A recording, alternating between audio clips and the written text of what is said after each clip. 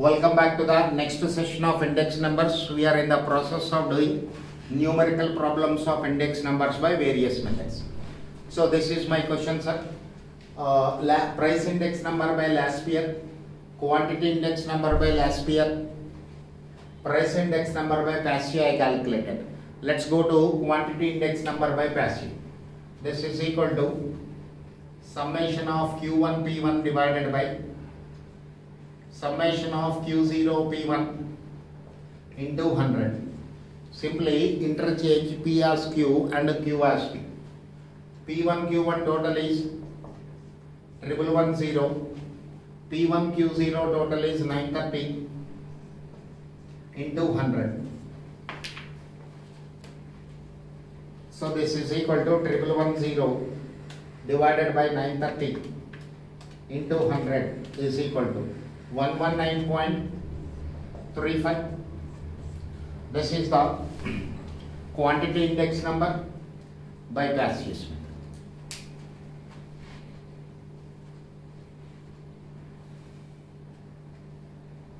Okay.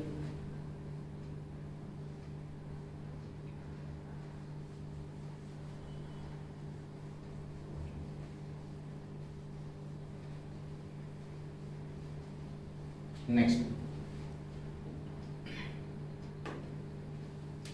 Price index number by Darvish Bowley.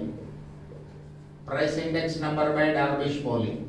It is the arithmetic mean of it is the arithmetic mean of price index number by last year and of price index number by past.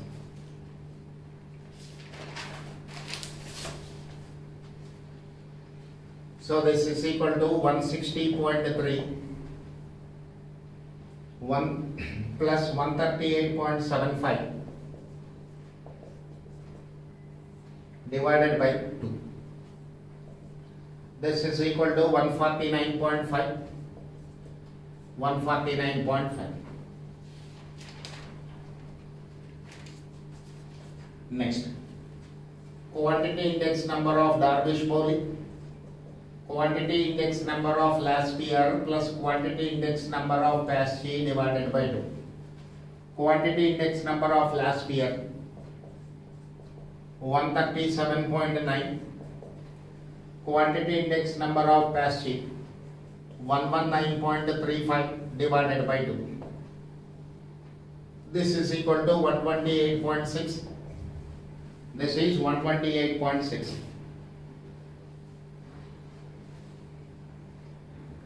Then let's go for Fisher's method. Price index number by Fisher. This is equal to price index number of last year value into price index number of past year's value under root. Because Fisher's index number is the geometric mean of last year and past year. So this is 163.3 into 138.75 under root.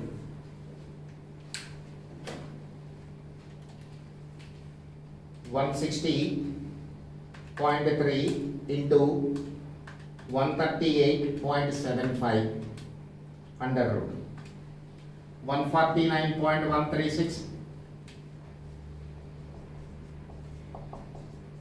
149.136 Next, quantity index number of Fisher.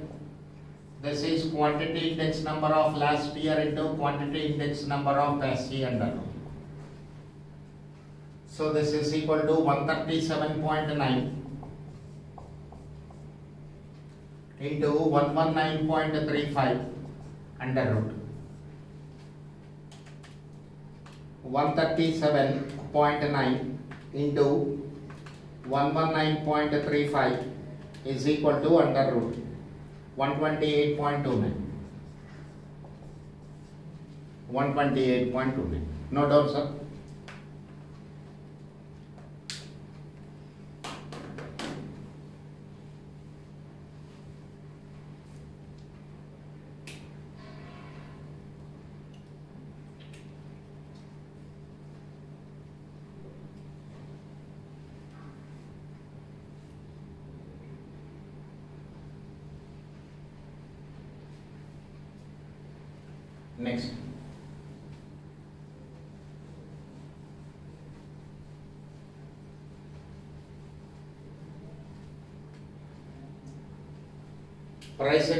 number by Darvish Bowley. It's over. Marshall Edgeworth. This is equal to summation of P1 Q1 plus summation of P0 sorry P1 Q0 divided by summation of P0 Q1 plus summation of P0 Q0 into 100. Values we have to substitute. P1 Q1 total double one one zero plus P1 Q0 930 divided by P0 Q1 800 plus P0 Q0 580 multiplied with 100. So first let me simplify denominator. 800 plus 580 is equal to memory plus. Numerator triple one zero plus 930 divided by MRC is equal to and multiplied with 100. 144.82 147.8 this is look at this point one more time sir. First i'll add the values which are in the denominator. 800 plus 580 so total is obtained 1380 what will i do? I'll store it in memory. So m plus. It is m plus. Denominator values are added and it is stored in the memory. Then go to the numerator. Double one one zero plus nine thirty is equal to. Numerator total is obtained. You have to divide this total by the total of denominator. Denominator values are already stored in the memory, so divided by MRC is equal to. And multiply that one with 100. 147.82 okay. Now you can also calculate quantity index number of Marshall Edgeworth summation of q1 p1 summation of q1 p0 by summation of Q0 P1 summation of Q0 P0 into 100. So summation of P1 Q1 triple one zero plus P0 Q1 P0 Q1 plus 800 divided by P1 Q0 P1 Q0 930 P0, Q0, 580. This total multiplied with 100.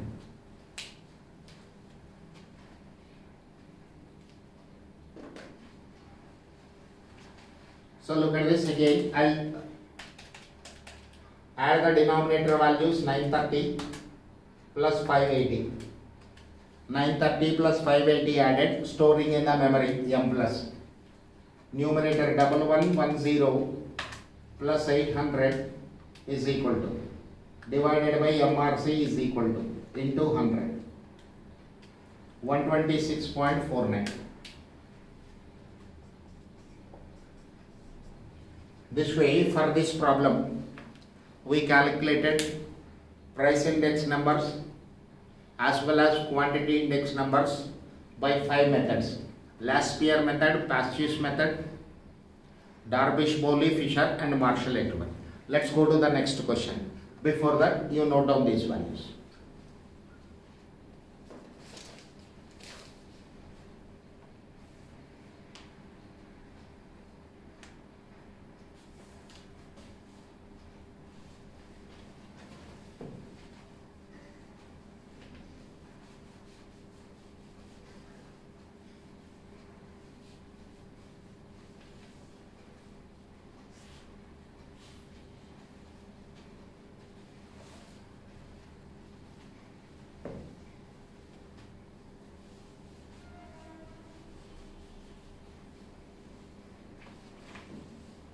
Now sir, let's go to additional question bank, problem number 14. Additional question bank. for index numbers and for chapter 1 for index numbers and for chapter 1 additional question bank is most important one. Means you have to do these problems of this. Now given price index number of last year is to price index number of past year is equal to 28 is to 27 price index number of last year and the price index number of past year. Ratio of these two is given as 28 is to 27 and we have two commodities xy p0 q0 p1 q1 here in the study material under p0 the values are printed as ll it's typing error. You make it 1 1 this is 10 and this is 5 this is 2 and this is p. 5 and you have to find the value of p. You have to find the value of p. So i need p0 q0 p0 q1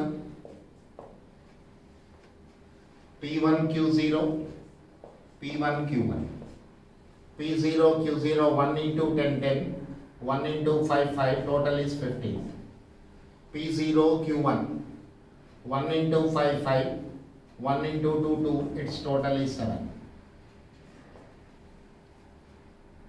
next p1 q0 10 into 2 20 5 into p 5p so 20 plus 5p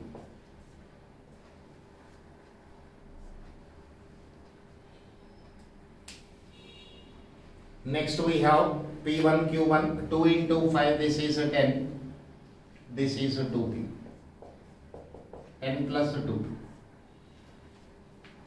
Now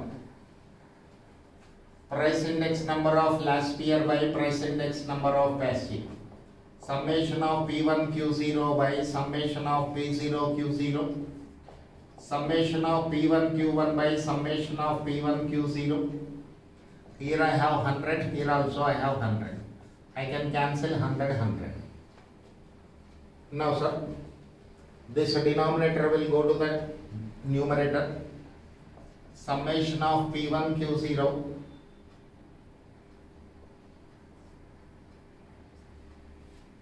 into summation of P0 Q1 by summation of P0 Q0 into summation of P1 Q1. This is given as a 28 by 27. So P1 Q0 total 20 plus 5P divided divided by P0 Q0 total 15 into P0 Q1 7 P1 Q1 10 plus 2P this is equal to 28 by 27. Now this 7 will go 4 times here, 3 will go 5 times, 3 will go 9 times. I can cross multiply here, I can cross multiply here. 9 into 20 plus 5p is equal to 5 into 4 20 and it is 10 plus 2p. 180 plus 45 into p, 200 plus 40p. So 45p minus 40p, 200 minus 180, this is 20. 5p is equal to 20, p is equal to rupees 4. So what is the price of second commodity in the current year? 4 rupees. Okay, simple. Note down the solution.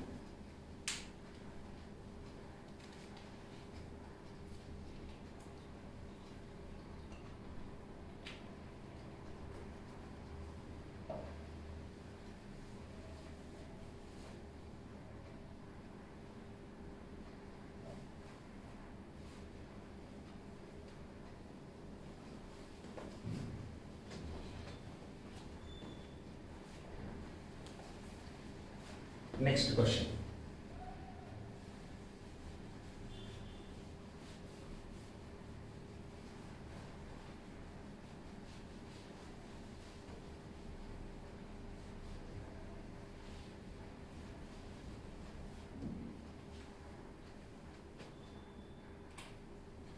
Question number 22. Summation of P1 Q1 is equal to 249. Summation of P0 Q0 is equal to 150. Price index number of Paasche. This is given as 150. Price index number of Darvish Bowley. This is given as 145. What is required here? Price index number of Fisher is equal to question mark. Price index number of Marshall Edgeworth is question mark. This second part is added from my side for practice. Now look at the solution. Summation of sorry first I read the formula this way price index number of Fisher is equal to summation of P1 Q0 by summation of P0 Q0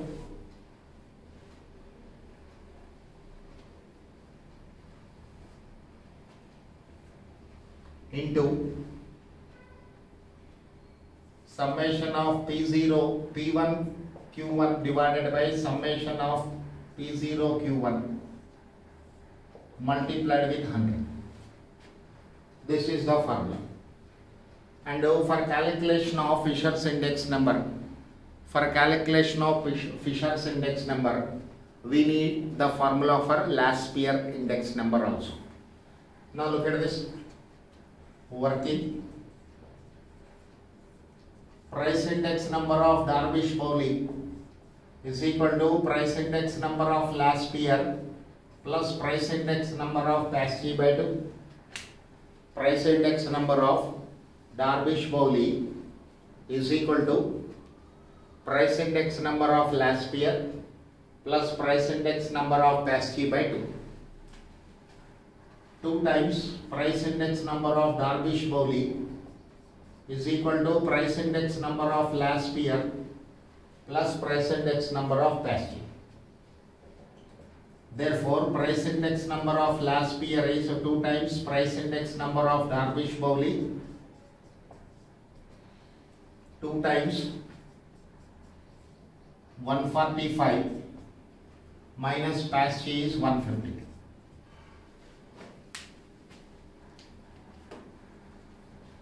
Two times one forty. Two into one forty five. This is two ninety minus one fifty. One five. This is one five. So this formula is not required here for Fisher. Price index number of last year into price index number of past year under. Last year we calculated as 140 into past year is given as 150 under root. Here it is 140 into 150 is equal to under root. 144.91. 144.91. That is the answer to the given question. First part of the question is over. First part of the question is over. Okay, note down this part, sir.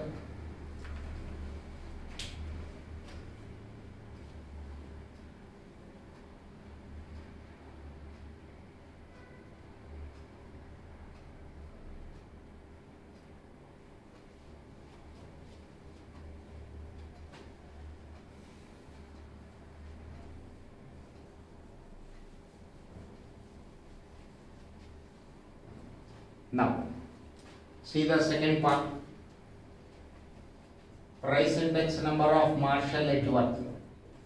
Summation of P1 Q1 plus summation of P0 Q0 by summation of P0 Q1 plus summation of P0 Q0 into 100.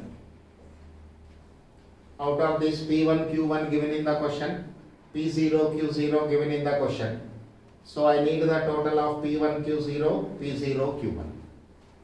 Now let us see the working. Price index number of last year P1 Q0 by summation of P0 Q0 into 100 is equal to 140. Summation of P1 Q0 is equal to 140 into summation of P0 Q0 by 100. 140 into summation of P0 Q0 given 150 by 100. So this is 14 into 15, 210. One value is obtained. Price index number of Paasche summation of P1 Q1 by summation of P0 Q1 into 100. Paasche is given as 150. Paasche is given as 150. Therefore, summation of P0 Q1, this will go to the numerator, 150 will come to the denominator. P1 Q1 by 150 into 100. P1 Q1 total is given 249 by 150 into 100. 249 into 100 is equal to divided by 150. This is 166. Now four values are required, four values are obtained.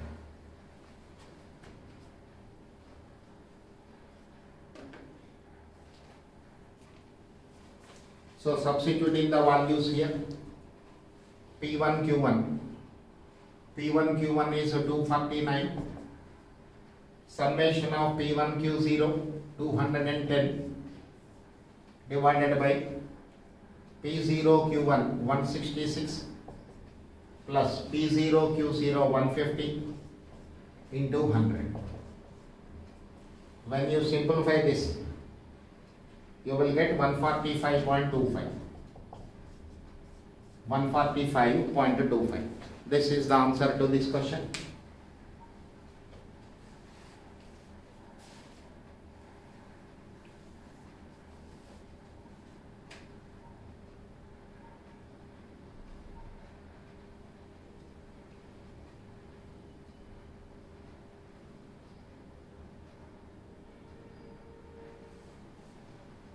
Okay.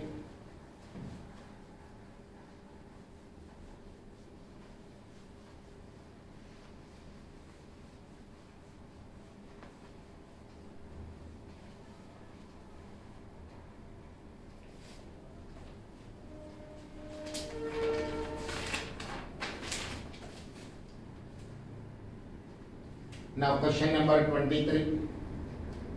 Consumer price index number.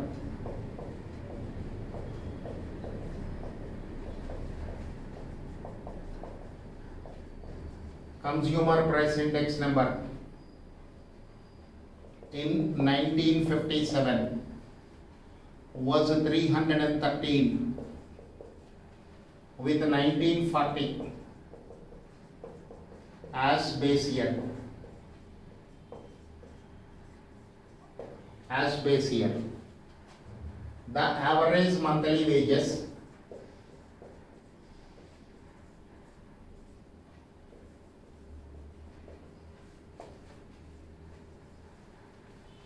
the average monthly wages in 1957 of the workers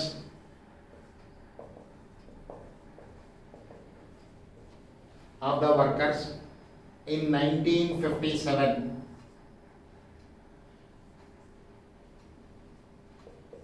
in 1957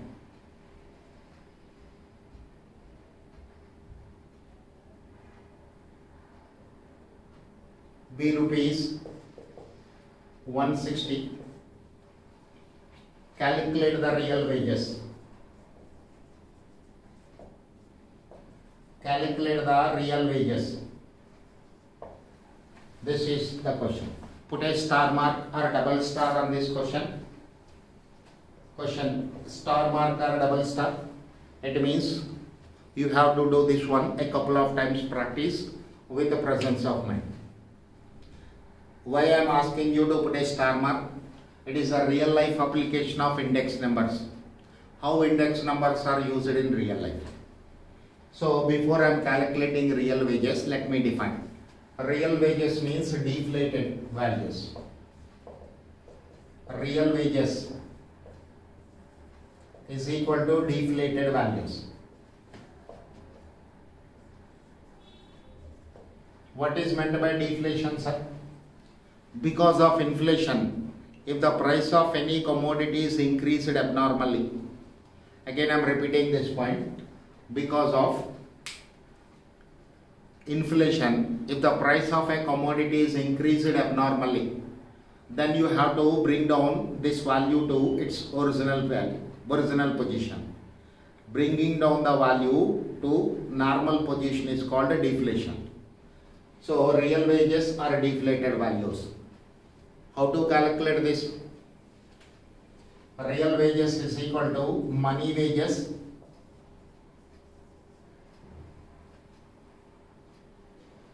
divided by index number of base year.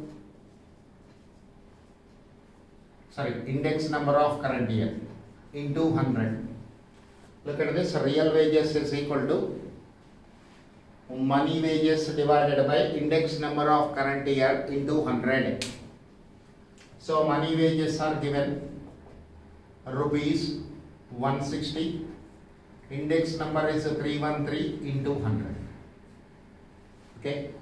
In the simplest terminology real wages stands for what? For this have a look on the question. For an index number of 313 for an index number of 313 wages are rupees 160 so for an index of 100 what will be the wages? That is what real wages stands for in case of real wages, remember the value should be calculated to an index of 100 because unless otherwise stated 100 is taken as standard. Index number is a standard. So this is equal to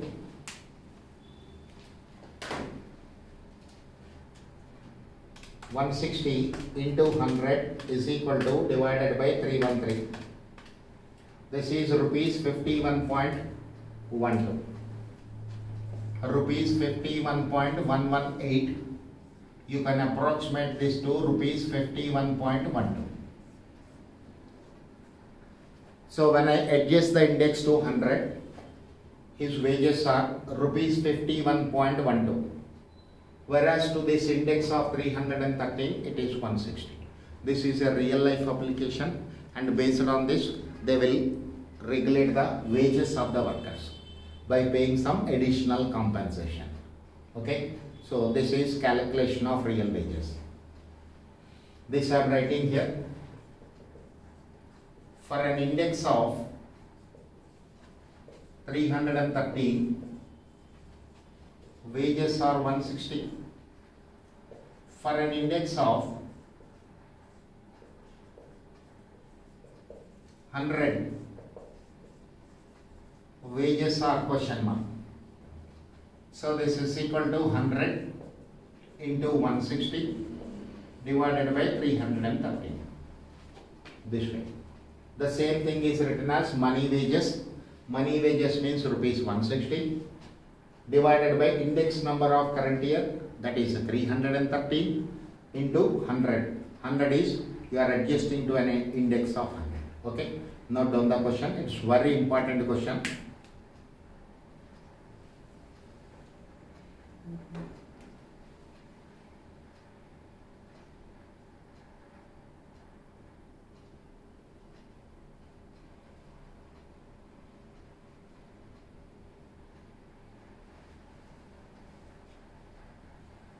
Okay, next question.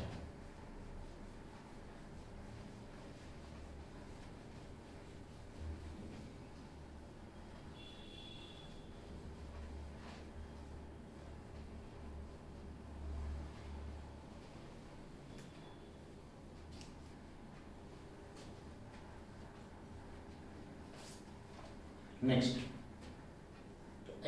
additional question bank 24. Additional question bank 24. Given summation of P0 Q0 is equal to 3500. Summation of P1 Q0 summation of P1 Q0 3850 calculate the cost of living index number. Calculate the cost of living index number.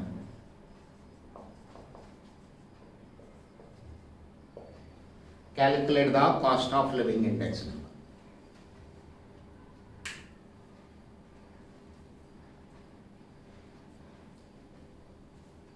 Now,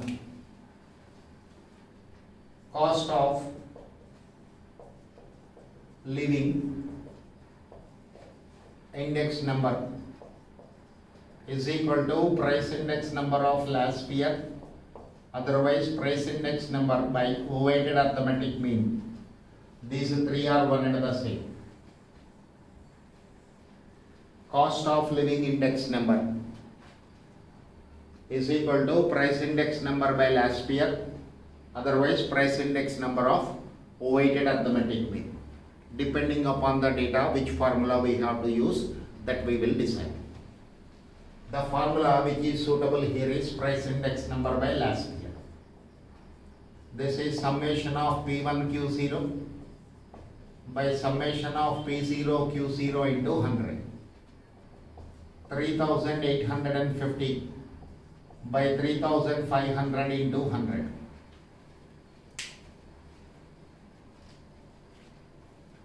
So look at this 3850 divided by 3500 is equal to into 100.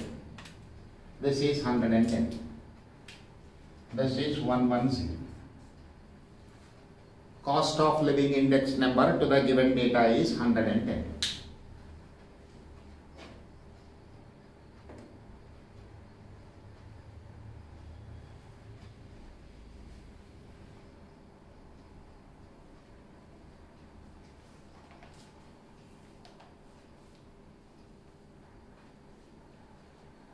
Next.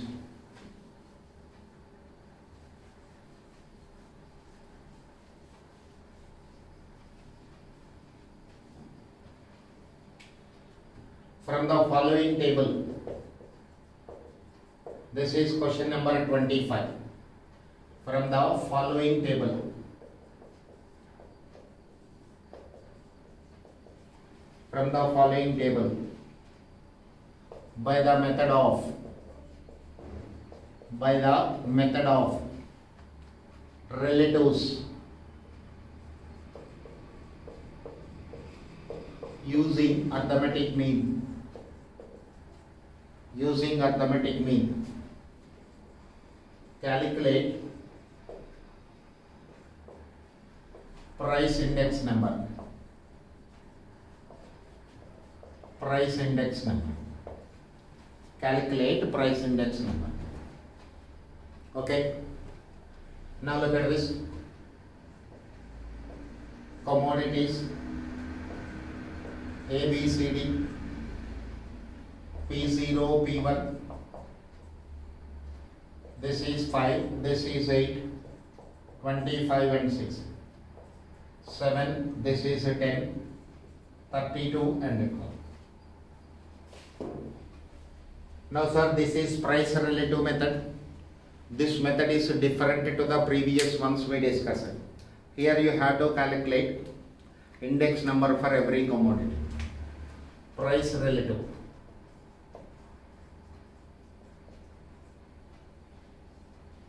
Capital P is equal to P1 by P0 into 100.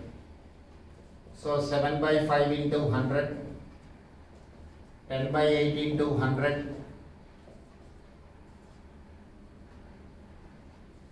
32 divided by 25 into 100, 12 divided by 6 into 100. So these values are calculated as 140, 125, 128 and 200. Get the total of this 593. Total of this is 593. Now what is the formula you have? Price index number by arithmetic mean, price relatives. Summation of P by N. 593 divided by 4. 4 commodities. 4 commodities. 593 divided by 4. 148.25. This is 148.25. 148.25. This is the answer. Okay. Note down, sir.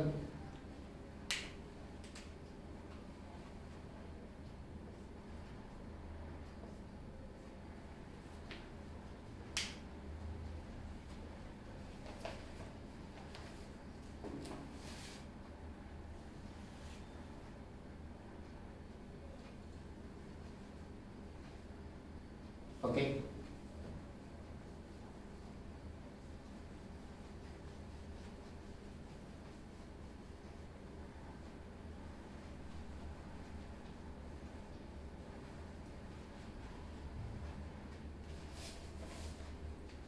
Again, question number 30.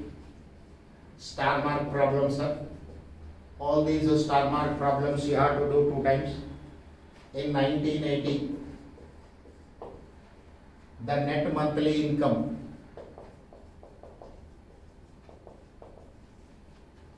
the net monthly income of an employee was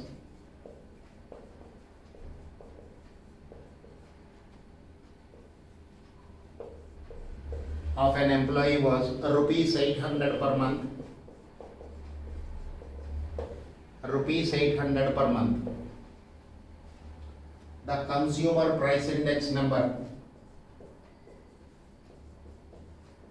The consumer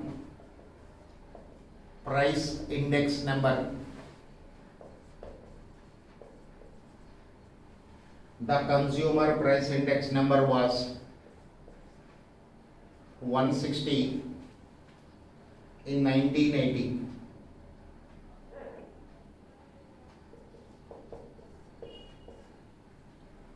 it rises to 200 it rises to 200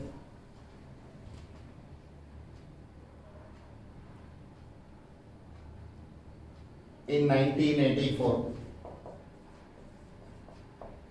in 1984 if he has to be rightly compensated if he has to be rightly compensated if he has to be rightly compensated calculate the additional allowance. Calculate the additional allowance.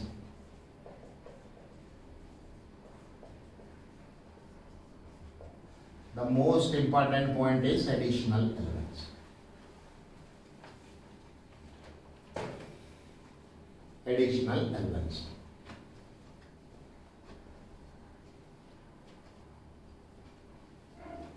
Now look at this sir. For calculation of additional allowance there is a process see the solution? For calculation of additional allowance calculate the salary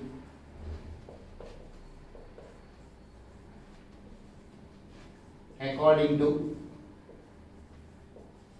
according to index number according to index number. Calculate the salary according to index number. Look at this. For an index of 180 for an index of 160 what is the index number of base year? 160 given in the question. For an index of 160, salary is rupees 800. This is data related to base year. This is data related to base year. Now for current year, for an index of 200, salary is question mark. This process you have to follow always, every time, whenever additional compensation is to be calculated. So this is 200 into 800 divided by 160. 200 into 800 divided by 160. This is 200 into 800 is equal to divided by 160. This is 1000 rupees.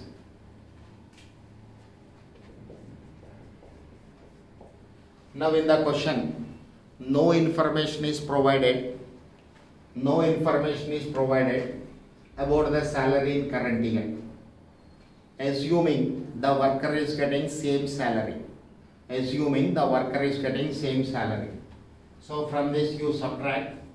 Salary is currently getting. That the difference is that the difference is the additional compensation. That difference is the additional compensation so it is rupees 200 so additional compensation.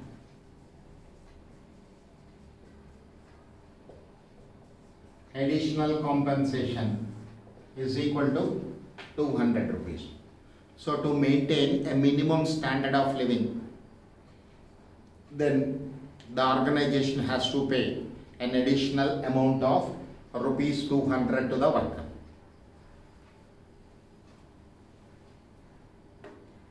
okay? Note down the questions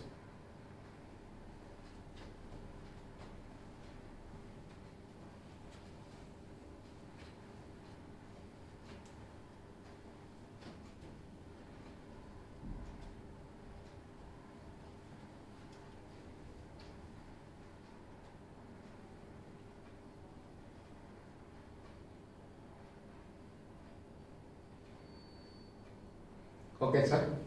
Remaining portion I'll take up in the next session. Thank you.